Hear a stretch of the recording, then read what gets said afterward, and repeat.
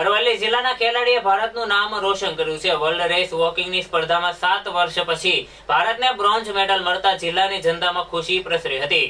World race વોકિંગમાં આખરે સાત વર્ષ પછી ભારતને બ્રોન્ઝ મેડલ મળ્યું છે, જેમાં અરવલ્લી જિલ્લાના આંબાવાવના વતની એવા બાબુભાઈ પણુચા પણ છે. ભારતીય ટીમનું નેતૃત્વ કરનાર ભારતીય ટીમના ત્રણ ખેલાડીઓ પૈકી એક ગુજરાતના અને તેમાં અરવલ્લી જિલ્લાના છે. જેથી જિલ્લાની જનતામાં ખુશી પ્રસરી છે.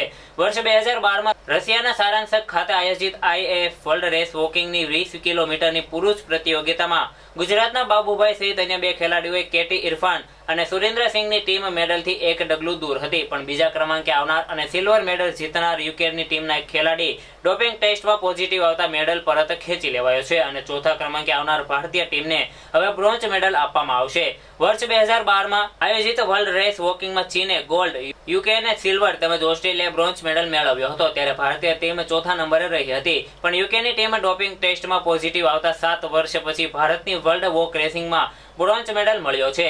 આ અંગે એથ્લેટિક ફેડરેશન ઓફ ઇન્ડિયાએ ટ્વીટ કરીને જાણકારી શેર કરી છે. તો અરવલ્લીના વોક રેસિંગના ખેલાડી બાબુભાઈ પંડુચાએ પણ ખુશી વ્યક્ત કરી છે.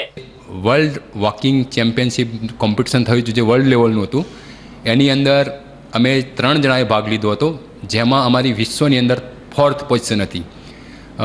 જે અમને એનાથી ખૂબ દુઃખી થયા હતા. પણ, હાલની, આજની તારીખ પ્રમાણે જે સેકન્ડ નંબર પર યુક્રેનની ટીમ હતી, જેને સિલ્વર મેડલ મળ્યો હતો. ઋતુલ પ્રજાપતિ, આઝાદ ન્યૂઝ અરવલ્લી.